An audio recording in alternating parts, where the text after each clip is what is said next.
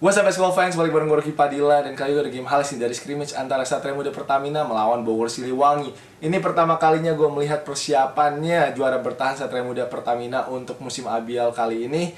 And they look really good, especially Dior Lohorn I think he is ready to play. As you can see later on on these highlights Man, he is just dominating everybody. And uh, kalau gue lihat juga dia kayaknya uh, dalam kondisi yang sangat bagus banget sih. So, uh, Dior uh, seperti biasa as the usual suspect he gonna be uh, one of the best import I think this season. Lalu uh, ada Sandi juga menurut gue Sandi akan apa yang memiliki breakout season juga dengan Satria Muda Pertamina. Kalau gue lihat game Sandi ini improve banget sih all around. So I expect big things from Sandi untuk Satria Muda Pertamina. And the last one, I hope Christian Gunawan aka Coke dapat increase nih minute playnya karena kalau gue lihat sekarang Coke udah improve banget juga ya uh, leadershipnya dan juga udah tenang banget bermain di lapangan dan yang pasti kalau kita lihat Coke itu court visionnya bagus banget sih di pertandingan kali ini. So guys uh, untuk Bogor Siliwangi kemarin seperti biasa trionya mereka uh, Michael Vigilance Jr. Uh, T.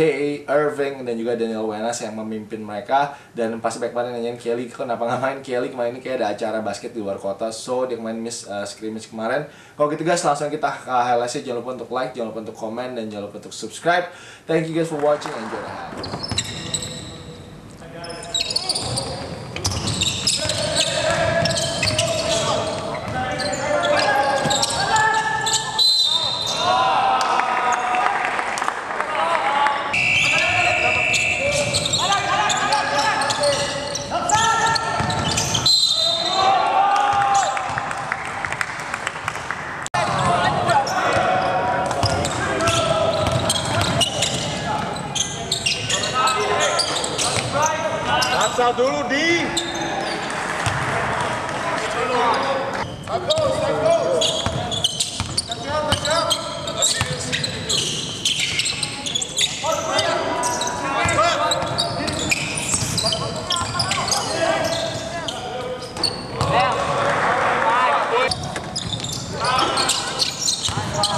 out loud.